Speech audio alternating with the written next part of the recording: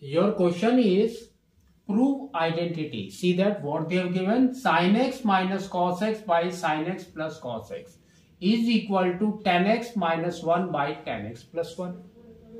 So now if you see this, your right side, what it is. So here sin is there, here they have written tan. Minus is there, minus is there. Here cos x is there, here they have written 1. That means we have to multiply and divided by cos x. Or we can say divided numerator and denominator by cos x. So we will write that. So divide numerator and denominator by cos x. So now we will get sin x by cos x minus cos x by cos x.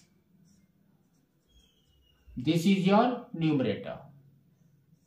Now comes denominator is sin x by cos x plus cos x by cos. So now this and this will go out one by one. One by one. We know that sin x by cos x is tan x minus 1 by again tan x plus 1. So this is your LHS and RHS is also same. So like this we have to do this. Comes here. So they have given what? 1 by sin x minus 1 by tan x. So we know that 1 by tan x is what? Cot x.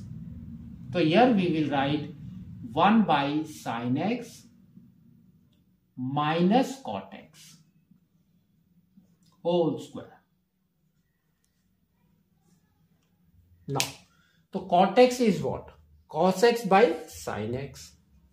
So that only we will write 1 by sin x minus this will be your cos x by sin x. whole square. So here you can see sin x is common. So that is your denominator that is LH, LCM. So here LCM is sin x.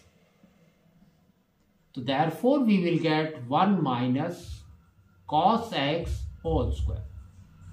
Now, so if you see this, this is 1 minus cos x. That means we have to write 2 times. So here we will write 1 minus cos x and again 1 minus cos x. Here it is sin x. Sin x whole square is sin square x. So here we will write sin square x. So now we know that sine square x is what? 1 minus cos square x. That only we have to write. So this will be 1 minus cos x into 1 minus cos x by 1 minus cos square x.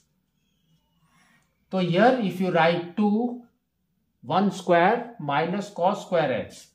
So then it will be in the form of a square minus b square. That only we have to write. That means 1 minus cos x and here it will be 1 minus cos x by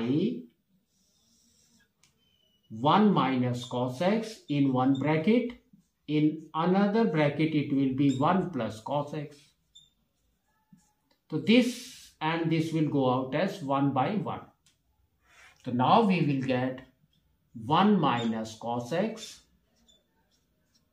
by 1 plus cos x so this is your LHS, RHS is also same. So like this we have to do it.